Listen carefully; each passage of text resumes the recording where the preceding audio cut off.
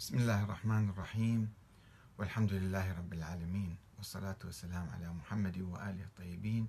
ثم السلام عليكم أيها الأخوة الكرام ورحمة الله وبركاته. لماذا أنتقد السيد مقتدى الصدر؟ هل لكي أضاعف عدد خصومي وأعدائي؟ أم لأني أرى أمرا قد غاب أو يغيب عن محبيه وأنصاره وعن عموم الشعب العراقي؟ لقد عاصرت الثورة الإسلامية في إيران بقيادة الإمام الخميني رحمه الله. وكانت تلك الثورة قد استقطبت تعاطف الملايين خارج إيران من مختلف الطوائف والأحزاب والتيارات فضلا عن إجماع الشعب الإيراني عليها بما لا يقاس بما يتمتع به السيد مقتدى آه، الآن من شعبية سابقة أو حالية في العراق. واندمجت مع تلك الثورة وأحببت وأيدت الإمام الخميني بدرجة كبيرة جدا جدا. حتى أني عندما سمعت ذات يوم نقدا من المرجع الراحل السيد محمد الشيرازي رحمه الله لمسيرة الحرب بين العراق وإيران سنة 1982 أي بعد الحرب بسنتين. وقوله بضرورة توقفها بعد سنتين من نشوبها. ووصف الإمام الخميني بالدكتاتورية. عندما سمعت ذلك لم أستطع تحمل هذا النقد. وكنت ساعتها على مائدة الشيرازي في لقاء خاص بيني وبينه. فقلت له بصراحة عفوا سماحة السيد هل تقول ما تقول عن إيمان به وعن علم وتقوى. أم تقول ذلك حسدا للإمام الخميني وبدافع من الشيطان؟ فابتسم رحمه الله وكان حليما جدا. وقال لي بكل هدوء ستعرف ذلك في المستقبل. وما لم أعرف أعرفه في ذلك الحين عرفته وعرفه كثيرون من محبي الإمام الخميني بعد ذلك فعلا ولا سيما بعد اضطرار الإمام لإيقاف الحرب بعد أن أنهكت البلدين العراق وإيران بسبب استبداده بقرار استمرار الحرب العبثية رغم معارضة كثير أو معظم أركان الجمهورية الإسلامية من رئيس الجمهورية إلى رئيس البرلمان إلى أعضاء البرلمان ومراجع التقليد وعامة الشعب الإيراني الذين كانوا يريدون إيقاف الحرب بعد تحرير المحمرة أو خرمشاه. والتفاوض مع العراق وقبول التعويضات العربية والدولية المعروضة على إيران. ولكن الإمام كان يصر على إسقاط صدام حسين كشرط وحيد لإيقاف الحرب إلا أنه اضطر أخيرا لقبول ذلك. إيقاف الحرب. بعد أن أفلست إيران وكادت تنهار اقتصاديا وعسكريا. وتبين لي حينها صحة موقف السيد محمد الشيرازي الذي لم أكن بحالة نفسية لاستيعابه قبل سنوات. وقبل اتضاح خطأ الإمام بقرار استمرار الحرب. لقد اعتمد الإمام الخميني في قراره على شعبيته الساحقة وعلى موقعه كمرجع تقليد وعلى النظام السياسي الإيراني الذي يعطيه صلاحية قائد القوات المسلحة الذي أيضا لم يكن يسمح لأي مؤسسة دستورية إيرانية بمحاسبته ونقده وإيقافه عند حده أي لأنه كان يتمتع بصلاحيات سياسية مطلقة لا تحدها حدود بحيث لم يكن يجرؤ أي أحد على نقده أو الاعتراض على قرار الاستمرار بالحرب فكانت الفاجعة في النهاية. وهذا ما جعلني أعيد النظر في موقفي من الإمام لأنظر إليه بموضوعية ناقدة أكثر ولا أستسلم لكل ما يتخذه من قرارات. ولا أبالي بموقف الغوغاء الذين يصفقون للقائد دون تفكير كبير. وقد عزز موقفي هذا قيام الإمام الخميني بعد ذلك بإطلاق نظرية الولاية المطلقة للفقيه عام 1988 وقوله إنها شعبة من ولاية الله وولاية رسول الله وولاية الأئمة المعصومين وإنها فوق الدستور وفوق الشعب. وهذا ما دفعني لدراسة نظرية ولاية الفقيه دراسة فقهية علمية وتدريسها في حوزة القائم في طهران. وتلك الدراسة التي قادتني إلى دراسة فرضية وجود الإمام المهدي محمد بن الحسن العسكري الذي كان الإمام الخميني يعتبر نفسه نائبا عاما عنه. ثم دراسة نظرية الإمامة الإلهية لأهل البيت التي اكتشفت أخيرا أنها بعيدة عن أهل البيت وأنها مؤلفة من الغلاة والمتكلمين وأن الإمام الخميني يستمد نظريته الدكتاتورية المطلقة المسماة الولاية المطلقة من نظرية الإمامة الإلهية. وفرضية وجود الإمام المهدي وولادته وبقائه على قيد الحياة إلى اليوم واعتقاده الإمام الخميني كان يعتقد بأنه نائب عام عنه يحق له ما يحق للإمام والنبي من حقوق وصلاحيات سياسية مطلقة وحتى صلاحيات دينية أيضا.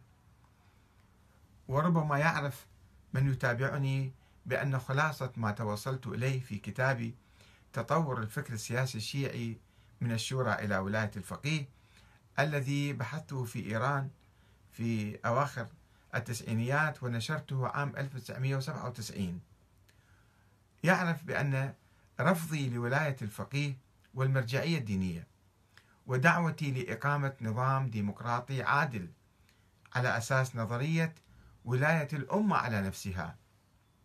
وهو ما اعتقدت أنه تحقق في تجربة النظام الديمقراطي الحالي في العراق. رغم كل العيوب والملاحظات على هذا النظام وعلى هذا الدستور. كما اعتقدت بأن الديمقراطية هي خيار الشعب العراقي قبل أن تكون خيار الاحتلال الأمريكي وأن لا بديل عنها سواء في ظل الاحتلال أو بعد التحرر منه. وربما يعرف الأخوة الأصدقاء أني كنت عضوا في لجنة العمل المشترك العراقية في لندن ممثلا ممثلا عن منظمة العمل الإسلامي. ولكني استقلت من المنظمة لأسباب فكرية واستقلت من النشاط العراقي السياسي بعد اتجاه الأغلبية للتعاون مع أمريكا.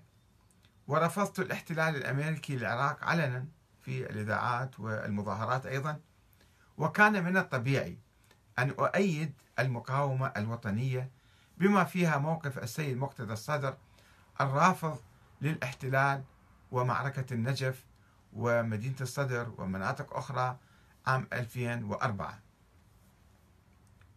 وفي الوقت الذي كنت أنتقد المرجعية الدينية المتمثلة في مرجعية السيد السيستاني بسبب موقفها السلبي من الاحتلال الأمريكي. وعدم إصدارها أي بيان يعلن موقفها الرافض للاحتلال. ما عدا البيان الرباعي الذي أذاعه السيد البكاء من تلفزيون العراق أيام صدام الأخيرة. وكذلك بسبب دكتاتورية المرجعية وعدم تقبلها لأي تطور ديمقراطي كالنقد والمحاسبة والاختيار من الشعب.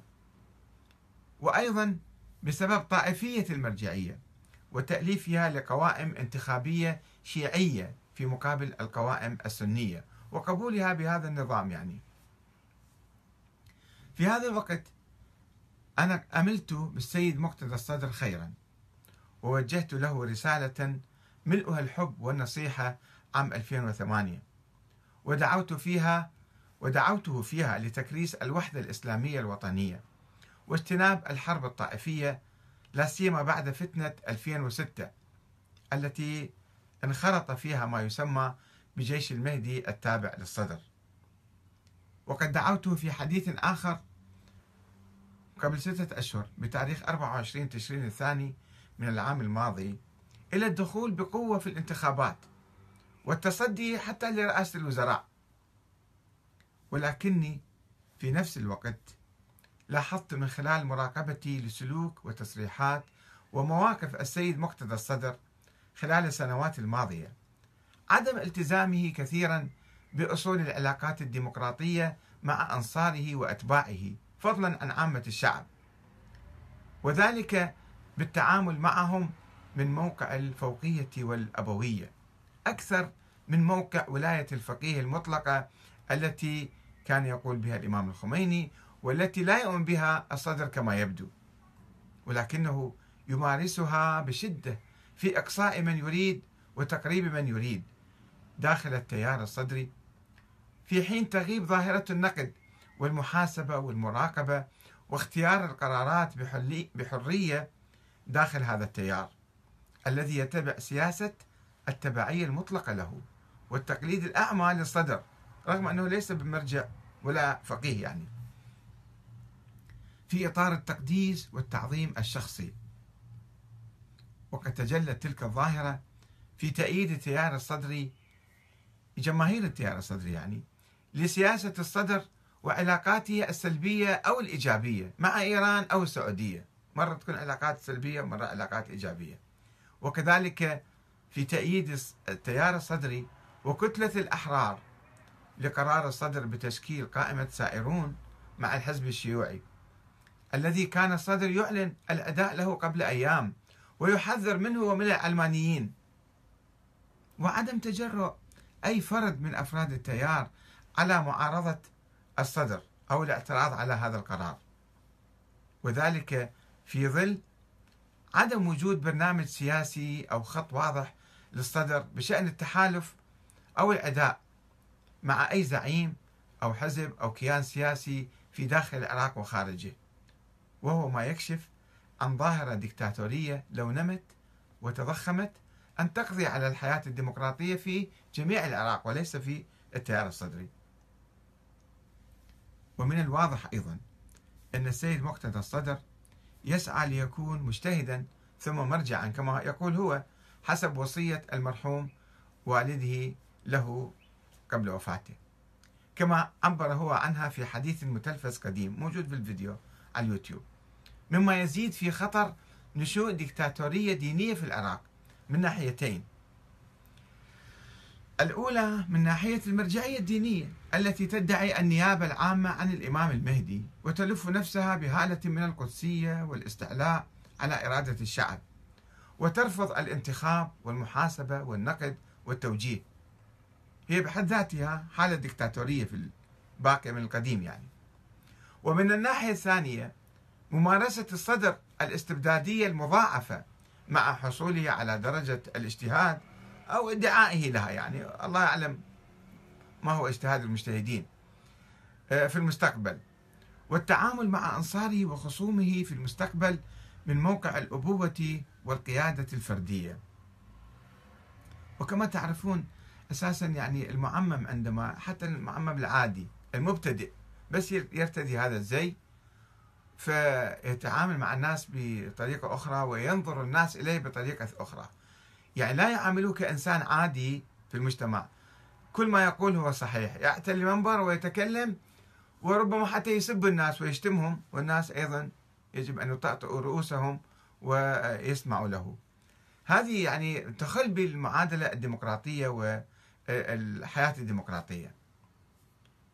وإنما يعزز هذه المخاوف هو لجوء أنصاره وأعوانه إلى تحريم أي نقد له آه، اليوم على أي من مواقفه بالنسبة للآخرين ممنوع أي واحد يمس الصدر حتى بالكناية. إذا آه، تعرض له أو انتقده هذا ممنوع. شوفون حملة شعواء ضدة تم. ومهاجمة من ينتقده أو يشكك في بعض مواقفه. واتهامه بالعمالة والخيانة واللاوطنية والارتزاق والقبض وكذا. يعني لا يتركون شيء إلا ما يلصقونه به. وبعضهم قد يكون هو مجند لهذا الشغلة. ولكن بصورة عامة الناس عندما يقدسون شخصا لا يسمحون لأي أحد بأن يقترب منه أو ينتقده أو يوجهه أو كذا. وهذه ظاهرة سلبية مضادة للديمقراطية بالحقيقة. وتهديده بشتى الوسائل من أجل قمعه ومنعه عن ممارسة حقه الديمقراطي في النقد والنصح والتوجيه والمعارضة. فكيف إذا تبوأ الصدر منصبا مرجعيا دينيا مثلا أو سياسيا رفيعا يغدو فيه كإله أو كسيد مطلق أبشع من الولي الفقيه. وأنا حينما أنتقد الصدر لا أنطلق من أي مواقف مسبقة ولا مصالح ضيقة وأنا لا أنتمي لأي حزب كما تعرفون. ولكني أشاهد أمام عيني ظاهرة ديكتاتورية دينية عائلية صدرية تحاول التهام جسد الديمقراطية الهشة الوليدة في العراق. وعندما أقول ذلك أعرف أن المواطنين الأحرار وحتى من التيار الصدري وربما حتى السيد الصدر نفسه ربما كما يقال يتقبلون كلامي برحابة صدر. ولكن العبيد في ناس قطاع من الناس عندهم عقلية العبيد. المشبعين بالثقافة الدكتاتورية وعبادة الأشخاص سوف يهاجمونني بلا رحمة كما فعلوا معي ومع غيري من قبل. ولكن ذلك لن يمنعني من قول ما أعتقد أنه الحق ومن الرأفة بهؤلاء الذين أعمل من أجل تحريرهم. وأتمنى من السيد الصدر أيضا أن يعيد النظر في سياسته وفي ثقافته وفي فكره وفي طريقة التعامل مع بقية الناس. وهناك أمثلة تحدثت عنها قبل أسابيع وأشهر. عندما مثلا أفراد من التيار الصدري في صلوات الجمعة يطرحون سؤالا للنقاش أو يتناقشون حول موضوع ما هي شرعية آه، التقليد أو المرجعية. فالصدر يخرج و يعني يدعو إلى سجنهم حتى ومعاقبتهم ومقاطعتهم وكذا. هذه ظاهرة غير ديمقراطية وغير إسلامية حتى. يعني السؤال مفتوح. ناس يسألون في صلاة الجمعة لماذا أنت تدخل وتهاجمهم وتطالب بمقاطعتهم وعزلهم وحتى تهديدهم بالسجن؟ ومرة أخرى عندما مثلا مرشح بعض النواب اللي كانوا سابقا في التيار الصدري أنفسهم خارج قائمة سائرون فأيضا يهاجمهم هؤلاء ويهاجم من ينتخبهم ويتعاطف معهم بأنهم لا يكونون حبا لآل الصدر ولا للعراق. يعني هذه طريقة تنم عن عقلية آه، تعمل من أجل الفرد ومن أجل العائلة آل الصدر. ولا تسمح لأي أحد بأن يخرج. طبعا لا لا أريد أن أذكر مواقفه السابقة تجاه مثلا من انشق عن التيار الصدري. ويطالبهم بالتوبة والاستغفار و آه، كأنهم ذولا خوارج أو ناس منحرفين أو فاسقين أو طلاب دنيا. يعني لا يجوز أن واحد يتهم أي واحد اختلف معي. أنا أمثل الإسلام وأمثل الدين وأمثل الله في الأرض وأي واحد يعني يخرج عني شوية أو يختلف معي. ولماذا أساسا يخرجوا ناس من التيار؟ لأن لا توجد في ديمقراطية في داخل هذا التيار. في فردية وفي استبداد. فلذلك أنا حقيقة أطلب يعني أنا ما عندي أي موقف من السيد وأنا أحبه وأيدته وحتى تكلمت ذهبت إلى مصر سنة 2004 وعملت مقابلة مع آه، الأهرام العربي وأيدت موقف السيد من الاحتلال. ولكن لا يجوز أن واحد يمشي بهالطريقة هذه لأنه يرتدي عمامة ولا يرتدي كذا ويرث ألقاب وأسماء كذا. فلا يجوز ولا يسمح لأحد أن يعني ينتقده أو هذا خلاف الظاهرة الديمقراطية. الديمقراطية تقتضي أن الناس كلهم يكونوا متساويين وما يجوز واحد يفرض نفسه أو يستعلي على الآخرين. وأذكره أخيرا مرة أخرى بقول الإمام أمير المؤمنين عليه السلام وهو أمير المؤمنين كان رئيس الدولة الإسلامية. يخاطب شعبه يقول لهم آه إني في نفسي لست بفوق أن أخطئ ولا آمل ذلك من فعلي فلا تكفوا عن مقالة بحق أو مشورة بعدل. تعالوا دائما شاوروني اتكلموا معايا انتقدوني انتقدوا أي واحد بالدولة. يعني كان وإنما أنا وأنتم عبيد لرب لا رب سواه. هكذا. هذه الثقافة الإسلامية العلوية الديمقراطية. أن الحاكم أو القائد أو الرئيس لا يستعلي عن الناس وإنما ينظر إلى الجميع. هم أخوة له متساوون معه. لا يجوز أن يمنعهم من ممارسة حقهم بالنقد والمشورة. وأتمنى إن شاء الله أن آه، يتحلى السيد آه، مقتدى الصدر بهذه الصفة حتى أكون أنا من أشد أنصاره وأعوانه. والسلام عليكم ورحمة الله وبركاته.